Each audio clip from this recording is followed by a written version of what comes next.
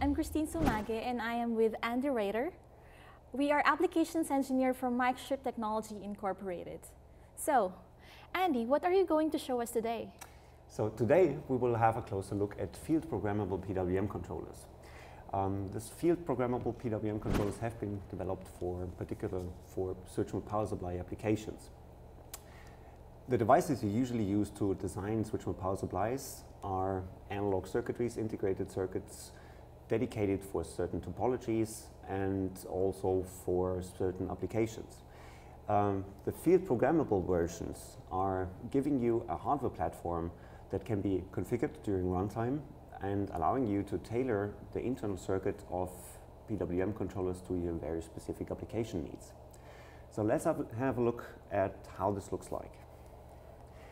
So when we look into the world of switchable power supply controllers, uh, the majority is pure analog circuits. So highly integrated circuits for dedicated topologies, power levels, and applications.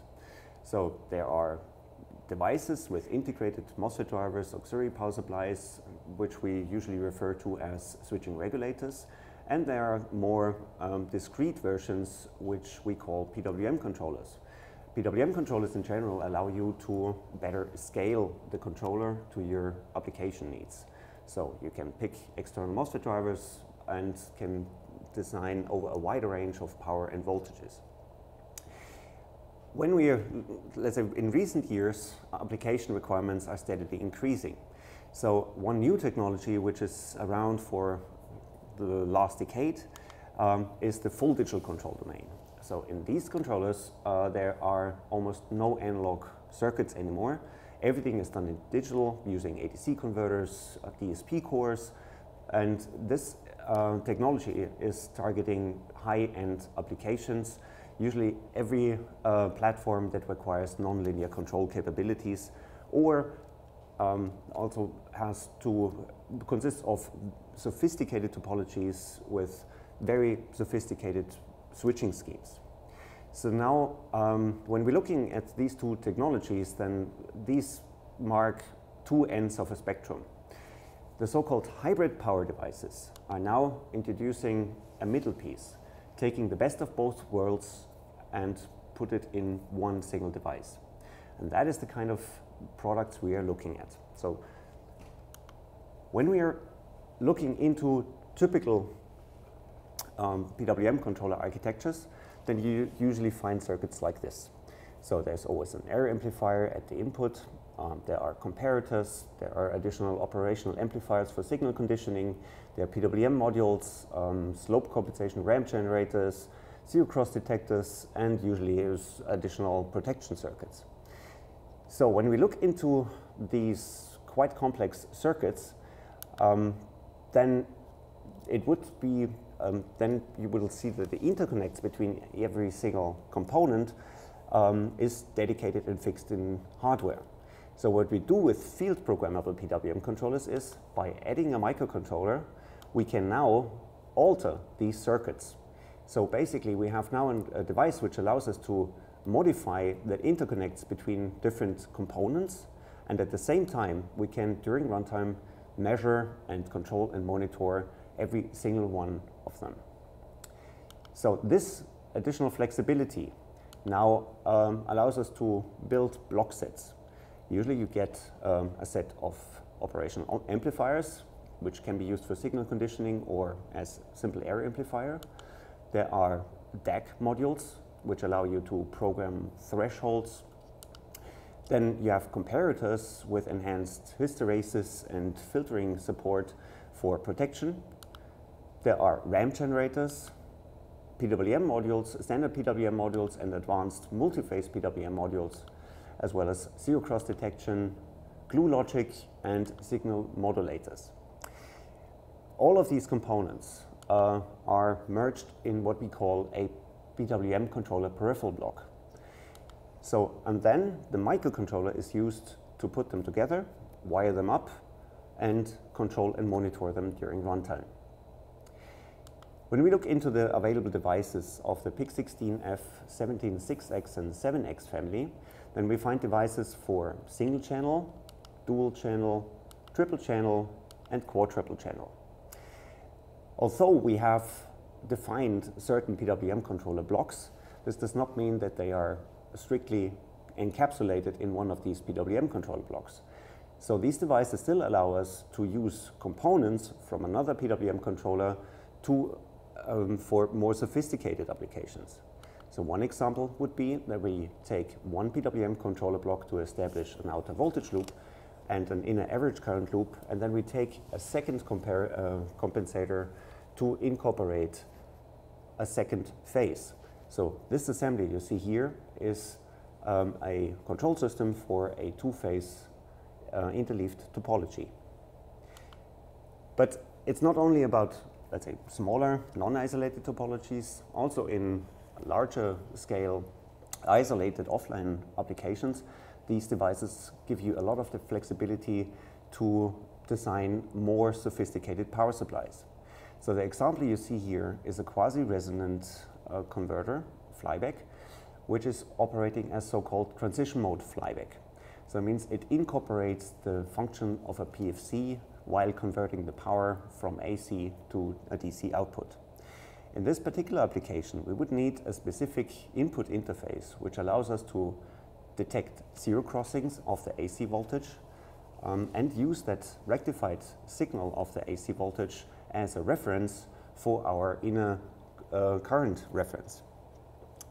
So by having the flexibility in, in interconnecting multiple different modules, we can now establish a control loop which is perfectly tailored for this highly specific application. When we look into the basic architecture of one of the PWM controllers supported by the MCU core, um, then we can identify some standardized blocks. These blocks consist of a compensator, usually an error amplifier and a DAC, then modulators, which are defined by the control mode and the topology we're going to drive, and an additional fault level. So these three central building blocks will be reused in every application. The set of the three major fundamental blocks are then defining one PWM controller block. So the interconnect of various analog components can become very challenging.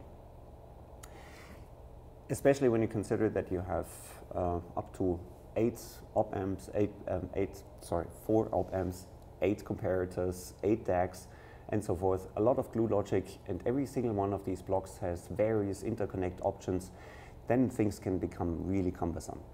So for that particular reason, we designed a tool chain which helps you to configure a power supply PWM controller with just a few mouse clicks.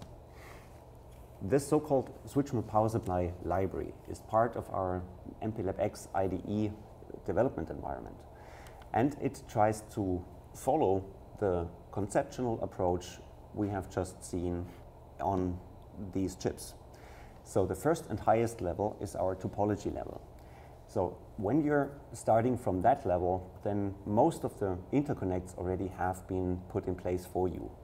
So as eventually, you just need to give some high-level values like switching frequency, dead times, uh, clamping values, and then you can immediately generate the configuration which will put the PWM controller architecture in place for you. If you need to make some modifications, if you would like to, to use a different control mode, making modifications to the fault block or the modulator, then you get access to the second level, on which you will find the compensator, modulator, and fault block. These are still generic and pre-configured subsets. Um, and but you can now interchange or exchange uh, multiple different versions of compensator, modulator, and fault blocks. If it's still not good enough, if you're still looking for a specific feature that your application may require, then you can go down to the third level, which gives you direct access to every single building block on these chips. And this gives you basically access to the last register bit to fine tune, optimize, uh, and um, optimize your system up to a level that it, you fully meet your application requirements. So, Would you please show us where this SMPS libraries can be found and how we can get them installed on our computers? Yeah, I'll show you. As mentioned by Andy, MCC SMPS Power Library allows quick and easy configuration and code generation for, for CIP hybrid power controllers like the PIC16F176X and the PIC16F177X device families. This, this library provides set of modules like uh, for, for fundamental SMPS building blocks and can support up to four topologies. This library can be found in, a, in Microchip website. You can download this library and install it on the MPLABX IDE by following this instruction. First, go to Tools, Options, Plugins, then click on Install Library, then navigate to where downloaded file is located click on the jar file, and then install it. Once the library is successfully installed, you can now use the library under the MCC tool. Thank you very much. Um, so let's get started. Um, we have a we have prepared a couple of examples. So at the beginning, we will start with a very simple voltage mode controller implementation then we will change the modulator of that voltage mode controller against a modulator of a peak current mode controller. And then eventually we will add uh, a specific feature by swapping the current feedback signal from a conventional current sense transformer to a DCR sensing circuit. So let's quickly look at the first example. So we're starting from um, a configuration of the microcontroller with a single PWM controller block. The board we're going to drive is uh, our synchronous buck converter. Um, this board is called the CIP Hybrid Power Starter Kit. It so it, it offers a synchronous buck converter and the buck converter architecture has three different current sensing options. So it allows you to experiment with uh, modifications of the switch node as well as different feedback signals.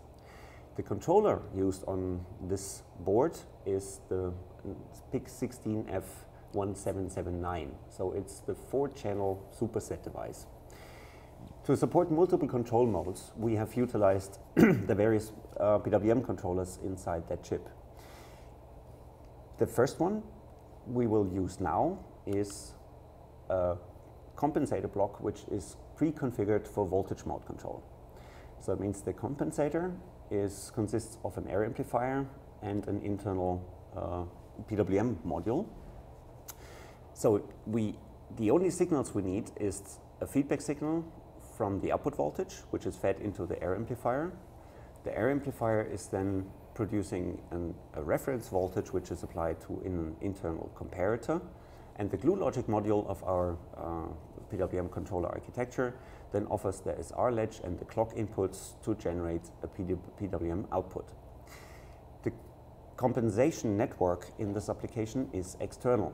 So as you can see on the below the compensator block, so between two pins, we have a RC network of a type 3 uh, compensator which is stabilizing the power supply and which eventually gives us a certain bandwidth performance and stability of our application. So, Tin, would you guide us through the process how we can get this configuration installed on our uh, PWM controller? Yes, of course. I can show you all how to configure and how easy it is to use the SMPS library to run this CIP hybrid starter kit in 3.3 volts output using the voltage mode control operation. To get started, let's go to the MPLABX IDE. Create a project that will work on PIC16F1779 and open the MCC. The first step in using the SMPS Power Controller library is to configure the system clock. In this example, we desire to get a 32 megahertz clock frequency That's why we are setting the internal clock to, to 8 megahertz and enable the PLL. And then, since this, since this configuration walkthrough, we were going to use a generic block in a topology level, using the PWM block controller 2, let us select the sync block 2 by double-clicking it. On the configuration tab, you can easily change its operation to voltage mode control along with its high-level parameters, such as the switching frequency, maximum duty cycle, voltage reference for the error amplifier, leading edge blanking, the rising and falling edge dead times, and the sawtooth. When all, the all, when all the values for these parameters have been defined, click the Upload All.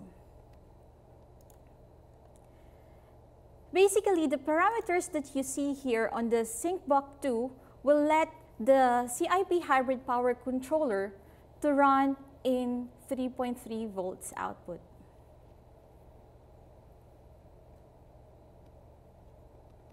Looking at the configuration again, the next step you need to do is set the pin manager on the sync buck 2. In this configuration, the output PWM high is at port D5 and the output PWM low is at port D4. These pins should match on what we have on the hardware platform. You can also see here at the Pin Manager package view how the pins are mapped. After that, click on the Generate button so that the MCC will generate peripheral drivers and the SMPS library will be able to generate SMPS drivers. When this has been successfully generated, click on Program so that you can program the CIP Hybrid Starter Kit and evaluate its result. Andy, can you please evaluate the, re the result of our CIP Hybrid Starter Kit? Sure, no problem. So let's first have a short look what we are going to do to validate that our setup is working correctly and that our feedback loop is actually stable and the power supply is working as intended. So here we see a simplified um, schematic of our circuit. So on top there's the power supply, on the bottom there is our PWM controller configuration. So the device we're using is a vector network analyzer, which allows us to inject the signal and perform measurements. So this measurement is an invasive measurement. That means we need something to interface the vector network analyzer with our circuit. In this particular case of a loop measurement, we're adding a resistor on top of the voltage divider. This resistor needs to be very, very small in comparison to the resistors uh, used for the voltage uh, divider. S usually something in the range between 5 and 10 ohms. Across this resistor, we are now connecting a um, a transformer and it's a one-to-one -one current transformer. This transformer is connected here to the output of the network analyzer. So the, the uh, frequency generator is driving a signal into the primary winding of this transformer and the secondary winding is then pushing this out through our injection resistor. So the injection point now is connected to the circuit using these two, these two clips. And then we are measuring the signals with two probes with our measurement input. So when we go back into the circuit, then we are now connecting the output to our transformer. And we also connect channel 1, which is the reference input, to the lower point of our injection resistor. So the reference is always taken at the high impedance side of this measurement loop. And now when we start the signal generator, we are injecting an error signal which is traveling through our compensation network error amplifier into our PWM stage. The PWM stage now starts to vary the duty cycle in accordance with the error signal we have injected, and that signal is then applied to our power plant, modulating the on time of the high side switch. This results in a generation of a sinusoidal waveform which is riding on top of our output voltage. And this frequency component is becoming visible on channel 2, which is used to measure gain and phase. So the difference in amplitude is then uh, taken as gain, and the, in, the difference in phase gives us the phase lag of our power supply and control loop. The Bode analyzer now translates this into a Bode plot. And the Bode plot allows us to perform stability analysis. So we can have a look at the bandwidth, the stability, and the phase margin, high frequency rejection, and a couple of more uh, options are available now when analyzing these measurement results. So let's have a look at the current results of our voltage mode implementation. So here, this is the software of our vector network analyzer. So when we perform a measurement, so it's continuously measuring the plant. And as you see, it is a so-called second order system where we have the here, uh, pretty much in the middle of our plot, we find this funny bump.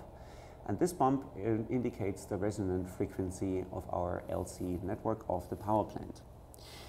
Uh, at, the, at this so-called complex conjugate pole, which is introduced by an inductive and a capacitive uh, LC tank, the phase starts to drop by expected 180 degrees. Further up, we find another point where the gain is starting to shallow out, and that is called a zero, and that zero indicates um, is, or is injected by the output capacitor and its ESR. So now the uh, purpose of our feedback loop is to stabilize the system. So the compensator compensates for poles and zeros in the power plant. So we have to compensate every pole with a zero in our compensator, and we compensate every zero of the power plant with a pole in our uh, in our compensator. The final outcome is now that we um, get a control system or an so-called overall system open loop gain, which falls steadily with minus 20 dB per decade gain slope. Then there comes the resonant point, and unfortunately in voltage loop there's very little we can do about it, so we need to work around it.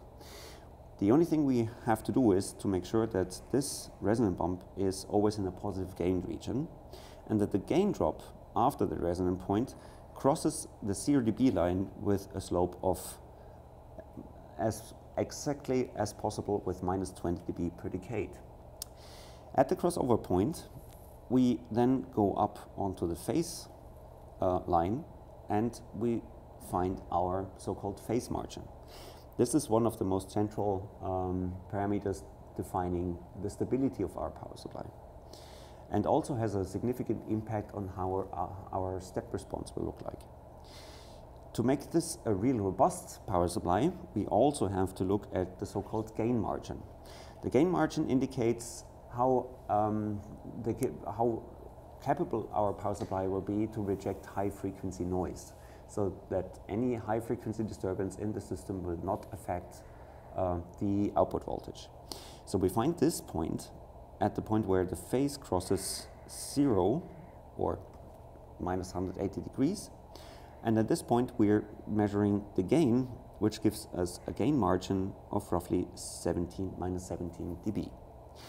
So uh, looking at this plot, uh, we find that this is a very stable power supply with a bandwidth of close to 20 kilohertz, 70 degrees of phase margin, and minus 17 dB gain margin.